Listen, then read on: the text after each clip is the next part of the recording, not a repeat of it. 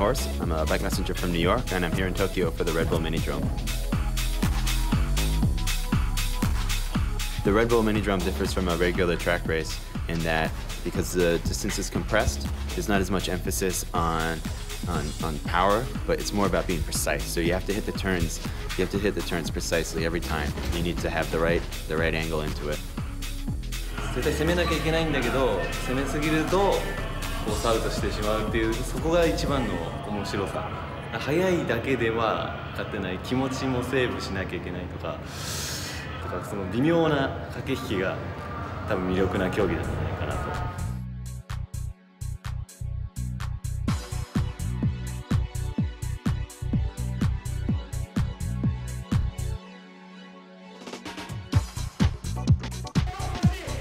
Well, the most difficult point is going to be staying on the track, um, but still pushing it to the limit. Um, I think that there is one line. Maybe others will find another line that's better, but the line that I think is best is going to come close to the edge.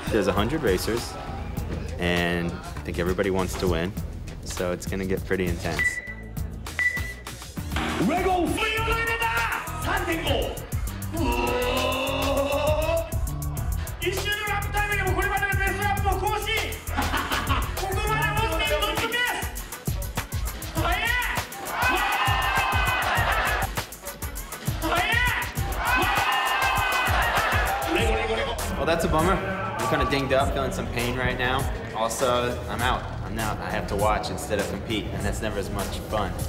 Also, you know, I was going really, really well. I was doing it, going hot. I think I could have taken it, so it sucks that I'm out.「